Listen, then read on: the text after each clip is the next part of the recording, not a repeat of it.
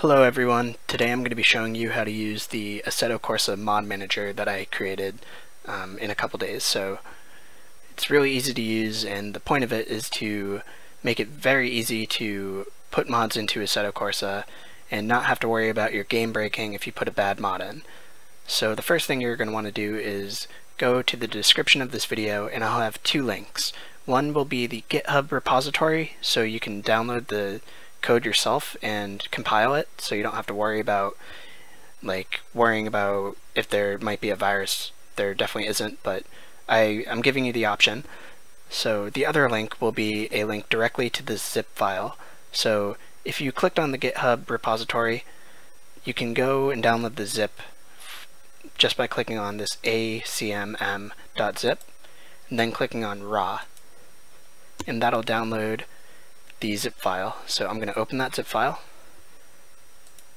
and you'll notice that there's a folder in here and you're just going to want to extract that anywhere, it doesn't matter. I'm just going to do it to my desktop. So you can open up this and there are three things. There's the mods folder, the executable, and a save file. So don't touch the save file. Um, there are some exceptions which you can read in the GitHub repository, but um, you could usually just leave that alone. So the first thing we're going to want to do is go into the mods folder, and there are two other subfolders. There's the cars and tracks. So we're going to put some cars into this cars folder. So I have the TI uh, mod, and I'm just going to put a couple cars in so we could see that it works for multiple cars.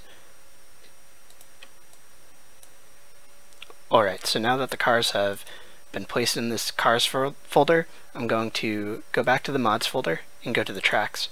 And I'm going to put my favorite track, which is the Drift Playground.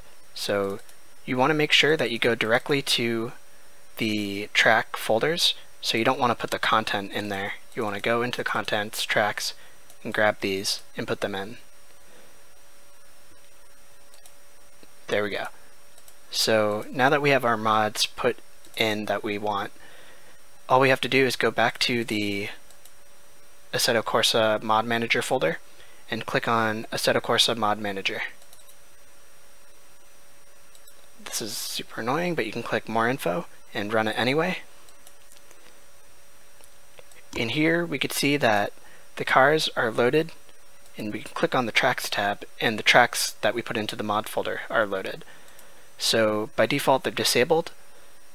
Um, so the first thing we're going to want to do is click on choose. So we choose our main Assetto Corsa folder. Now this is where um, the Assetto Corsa exe is. So it's usually under C, Program Files x86, Steam, Steam Apps, Common, and Assetto Corsa.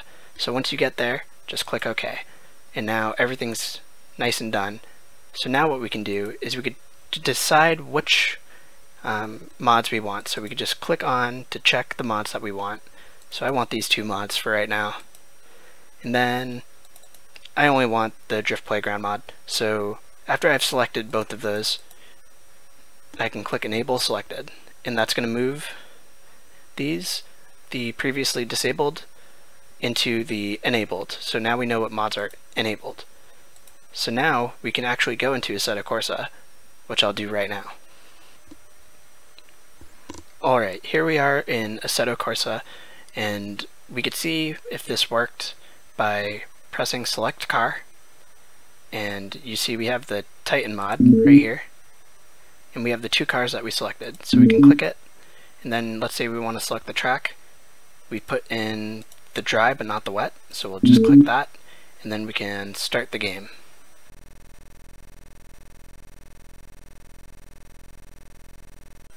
Alright, so we're back, and um, what we need to do is open up the Assetto Corsa Mod Manager, just by double-clicking in it, clicking it, and you can see it saved our our settings. So it knows what mods we have enabled, and it knows the folder where our mod, where our game is. So we can disable these mods just by clicking on them in the enabled section and let's say I just want everything back to normal. So I just select all of those and I click disable selected. So now everything is back into the disabled section. So our game is back to normal and we don't have to worry about going in and doing it ourselves.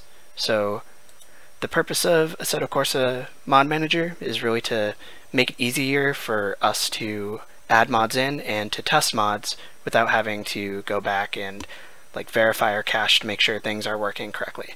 So anyway, I hope you guys found this um, useful. I hope you guys like the mod manager I made. If you have suggestions, please go to the Git repo and scroll down. You'll see a contribution section in the README, and that will tell you how to send submission or send suggestions to me or send bugs if you find bugs. You could also click on help and do report bug or suggestions. Um, so thank you guys for watching. I hope you enjoy the mod manager. I hope it makes your lives like a million times easier and goodbye.